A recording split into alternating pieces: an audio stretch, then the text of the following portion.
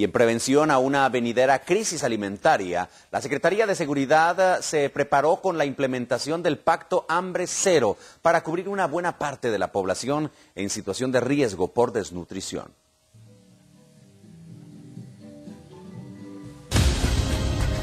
Guatemala integra los primeros lugares de países con altos índices de desnutrición, con 49.8% de desnutrición crónica y 1.4% de desnutrición aguda. La desnutrición crónica provoca retardo en el crecimiento y bajo coeficiente mental. En cambio, la desnutrición aguda causa pérdida de peso, retención de líquidos y hasta la muerte.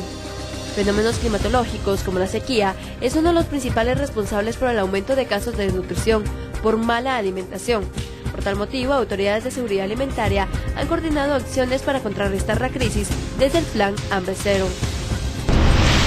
Arriba de 4.000 millones de quetzales, 4.518 millones de quetzales es lo que tengo en mi reporte, pero el Ministerio se conforma en el Consejo Nacional de Seguridad Alimentaria y Nutricional en su ejecución vinculada al plan Hambre Cero.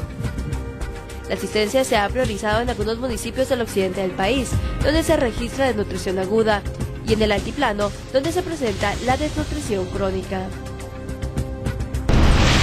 166 municipios, sin excluir que en los otros municipios que están relacionados al trabajo hay universalidad en las intervenciones. Entonces, eh, no, no podría definir uno a uno los municipios porque han sido en realidad 166 y además ha habido trabajo en los que están fuera del, área de intervención específica del plan de reserva.